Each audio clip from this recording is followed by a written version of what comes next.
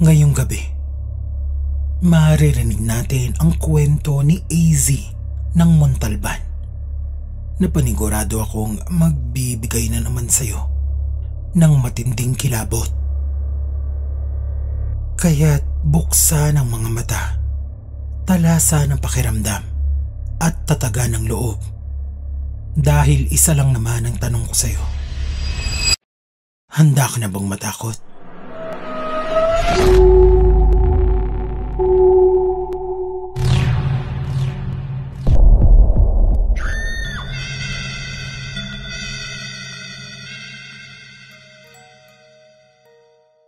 gabi. Tawagin niyo na lang ako sa pangalang AZ ng Muntalban. Sana ay mapansin ninyo ang kwentong ito. Matagal-tagal na din ako nakikinig ng mga storya dito at gusto ko lang ding ibahagi ang ilang mga karanasan ko sa Yunisan sa probinsya ng Quezon. Mga magbabarkada kaming na nagbalak ng outing mula Quezon City papuntang Unisan, Quezon Province. Yung iba sa amin ay nakakotse. Tapos may apat na nakamotor. Yung mga bata na anak ng iba pa naming kabarkada at mga asawang buntis nandoon na sa loob ng kotse. Walong lalaki kaming nakasakay sa apat na motor. Bali dalawang tao kada motor ang nakasunod sa kotse papuntang Quezon. Umalis kami sa Quezon City mga alas 11 ng gabi. Estimated naming biyahe kasi ay aabutin ng anim hanggang pitong oras. Naunang nakarating sa target location namin yung kotse. Alas 8 pa lang ng gabi kasi ay nakarating na sila doon. Pero kaming mga nakamotor nakarating ng alas 12 ng madaling araw. Halos labintatlong oras kaming bumabiyahe gamit yung motor. Ang pahinga lang namin ay kapag nagpapagasolina o may naiihi sa amin. Hindi naman pwedeng mauna ang isa kasi convoy ito. Kung hihinto ang isa, hihinto kaming lahat. Sa biyahe pa lang ay nakakaramdam na kami ng kakaiba. Papalit-palit ang temperatura ng hangin. Lalamig tapos biglang iinit yung hampas ng hangin sa katawan namin. Iniisip na lang namin na baka siguro dahil sa mapuno ang kapaligiran. Kaya ganoon ang pakiramdam. Kaya nagdire-diretso na lang kami sa pagmamaneho.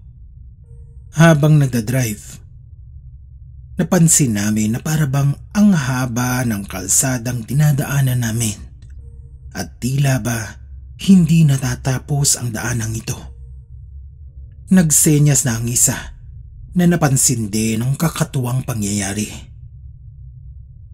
Una pa lang ay napagtanto naming para lang kaming umiikot sa isang lugar Ngunit upang mapatunayan, hindi kami huminto. Nagpatuloy lang kami sa pag-ikot at kahit isa sa amin ay walang nagbalak na huminto dahil sa takot. Takot hindi dahil sa kababalaghan, kung hindi takot na baka makaengkwentro kami ng NPA. Sobrang dilim kasi ng kalsadang yon at puro kakahuyan.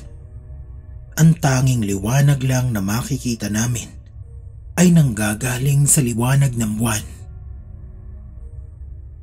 Sa totoo lang, ay nagbalak na lang kaming bumalik sa Quezon City kasi anong oras na noon. Ngunit hindi pa rin kami nakakarating sa target location namin. Nung mga oras na yun, sinubukan na naming huminto saglit at naisipan na baka naengkanto kami. Sabay-sabay kaming nagsibalik tara ng damit para makaiwas sa pagpaikot-ikot sa kalsadang ito.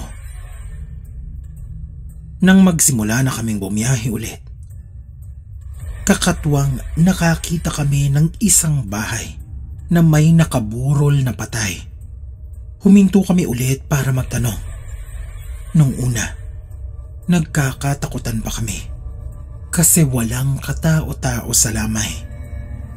Kaya nagtao po na lang kami. Swerte din naman na may lumabas na isang babae at sa kanya kami nagtanong. Gusto lang naman naming malaman kung malayo pa ba ang lalakbayin namin. Ah, magandang gabi ho. Magtatanong lang ho sana. Ano ho yun? E itatanong lang ho sana namin kung malayo pa po ba kami sa Malantadang Beach. Ah, naku, malapit na. Diretso dyan, makakakita kayo ng papasok ng Yugan. Hindi naman kayo mawawala kasi may nakapaskil naman na Malantadang Beach. Matapos namin siyang tanungin, nagpasalamat na kami at nagpatuloy na sa biyahe. Wala pa sigurong isang minuto. Nakarating na kami sa location. Ngunit mas grabe pa pala ang mangyayari sa amin. Pagdating doon, inuman na agad ang nangyari at inabot kami ng alas tres ng madaling araw. Nagkayayaan maghanap ng bar o kahit simpleng maiinuman lang dito sa probinsya. Siguro dahil na din sa tama ng alak. Nagsigala kami kahit alas tres na ng madaling araw. Una kaming pumunta sa 7-Eleven sa may palengke para bumili ng sigarilyo. Doon na din kami nagtanong sa tricycle driver kung may bukas pa bang inuman o kung meron bang malapit na beer house. Itinuro kami ng isang driver sa isang kalsada. Daanan daw namin yun at may makikita kaming inuman.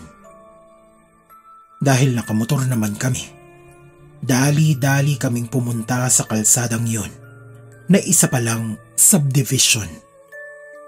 Madilim doon na parang walang nakatira sa mga bahay. Ni wala kang makikitang bahay na may nakabukas na ilaw. Ngunit sa gitna ng kadiliman ng lugar, may nakita kaming nagliliwanag. Yun na pala yung sinasabing beer house. Sobrang liwanag doon sa beer house. Maganda yung lugar kung tutuusin pero walang mga taong nakaupo sa lamesa. May mga baso pero wala namang umiinom. Habang naghahanap kami ng waiter o kahit sinong makakausap, nagpasabi yung isa kong kasama na ihing-ihi na daw siya kaya pupunta muna siya sa banyo. Pagpasok na pagpasok niya sa loob ng banyo, tumambad sa kanya ang isang malaking salamin sa tapat ng pinto. Hanggang sa bigla na lang naming narinig na sumisigaw yung kasama namin. Uy pre pre, tara na, huwag ka na umihi dyan. Eh, umuwi na tayo. Bilisan nyo, tara. Nagtanong kaming lahat kung bakit. Kasi nakulantang kaming lahat sa sigaw niya. Ngunit ayaw niyang magsalita. Yung isa naming kaibigan naman, namumutla na. Kaya kinutuban na rin kami at nagmadali nang umalis. Pagbalik namin sa resort, doon na nagkwento yung kaibigan namin. Ayon sa kanya, may nakita daw siyang isang babae doon sa salamin sa loob ng banyo. Normal naman daw ang itsura ng katawan. Ngunit mahaba daw ang buhok at nakayuko habang nakaharap sa kanya. Halos hindi na namin maipatuloy sa kanya yung kwento. At isa-isa na kaming nagpasyang itulog na lang ang nangyari sa amin. Kinabukasan, namalingki ulit kami. Dahil nga naaalala pa din namin ang nangyari noong gabi. Nagtanong-tanong din kami sa palengke patungkol sa napuntahan naming beer house sa loob ng subdivision. Lahat ng napagtanungan namin, ang sagot lang sa amin ay, subdivision? Eh wala namang subdivision dun eh. Ay, walang subdivision dun. Ay, wala naman natang subdivision po dun. Walang subdivision. sa daanang pinuntahan namin kagabi.